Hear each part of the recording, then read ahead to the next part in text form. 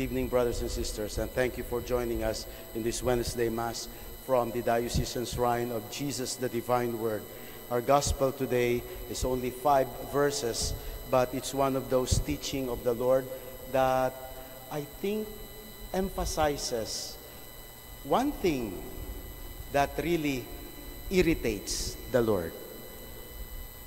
If there's one thing that irritates the Lord, it's not so much the big sins that we think of. Remember the adulterous woman? She forgave, uh, he forgave her and said, Go and do not sin anymore. Remember the thief who was crucified with him?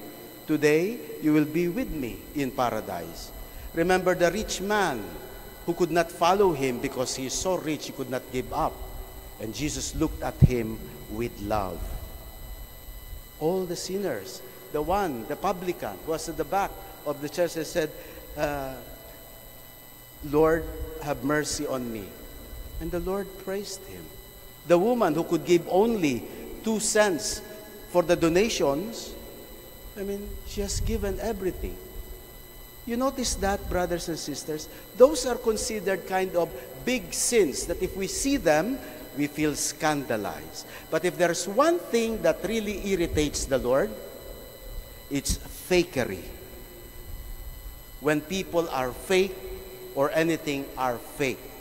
That's why he spoke harsh words against the hypocrisy of the, of the uh, Pharisees and the scribes. And now in today's gospel, he says, Beware of false prophets. Why is that? I think it's because God, as creator, creates original things. God never creates anything that's fake. Did he create something that's, that's plastic? Look at nature. All of them original, including the beauty or including when they withered away. He creates fruits that are both sweet and sour.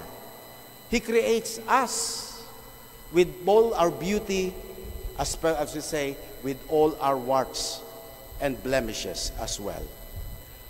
What God creates, they are all originals. Who is the one who can make fake?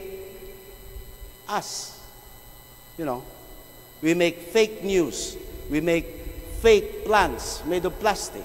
Even the marbles and the stone, we made them into fake panels that we put beautifully into our world, uh, our walls. And worst of all, we can fake things about our character and person. We as Filipinos should have seen this happening before our eyes. And it saddens the Philippine church as well when our own people could not tell what is real and what is false. That's why sometimes we choose people to lead us who are false. Did not happen once, it happened many times. And what's the test, the litmus test of that? The Lord already tells us. He said, You want to be more wiser in knowing what is real and what is false? What did He say? Not once, but twice. He said, By their fruits you will know them.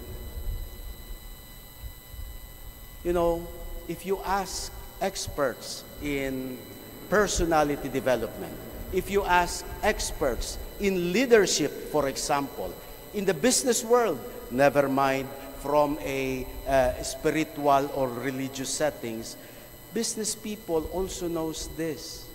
When they interview people who will work for them, they said you can give up whether they are good on one particular skills or not, whether highly educated or not, but look at their character. Are they true to themselves? What my professor tells us, be authentic person and you will be a good leader. When we are true to ourselves, then we can admit to our own weaknesses and seek help. When we are true to ourselves, then we can be humble enough to say that we make mistakes. When we are true to ourselves, we will not be proud even if we perform well because we know that is God given talent that we receive. So, the, the secret to holiness, I think, is not only by the number of prayers that we say, or even the masses that we attend, but before we stand to the Lord, do we stand of who we truly are, the real person? Again, Jesus reminds us beware of false prophets. And I think behind it, he says, beware that you will not be false as well. Because only good things can come from good people. People who fake their holiness, their competence, their goodness for all the people to see, they will bear ultimately bad fruits. So you want to see who are the people who are fake among us? Just look at their fruits. Again, those quotable quotes from the Lord by their fruits you shall know them.